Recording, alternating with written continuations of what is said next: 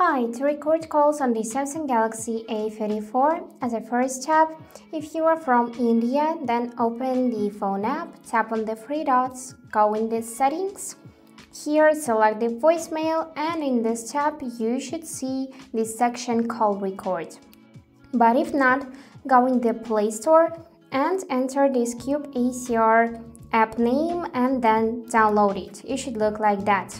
And after that, also go in the Galaxy Store and download this Cube ACR helper because in the Play Store it is simply unavailable. Now, after that, we'll need to open the first one, which is ACR. Here, tap the next button, go in the grant permissions and allow every permission from the list. So here I'm choosing allow, allow, and so on.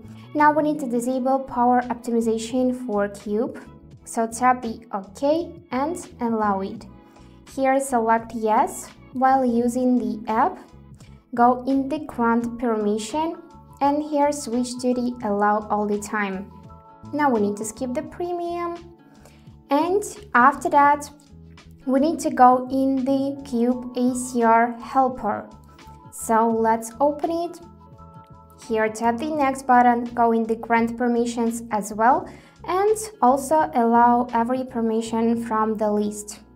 So just tap on the allow option like that and now we need to enable app connector. So tap this option, go in the installed apps, here select the first one and enable it by tapping on the switcher and here select allow and tap OK and then allow as well. And now the setup is complete and we can open the first tab. So now we just need to make a phone call to any person to check how this feature works. And now I just made a phone call to myself. So let's just take a look at the time. We have 10 seconds here and now let's end this call. And after that, we can open this Cube ACR app and we can see the recording of our call. You can play it if you just tap it and here select the play button. You can tap on the three dots, start this conversation, show on map, go in your contact settings, delete this recording and add new one. So this is how this feature works. Hope this video was helpful and thank you for watching.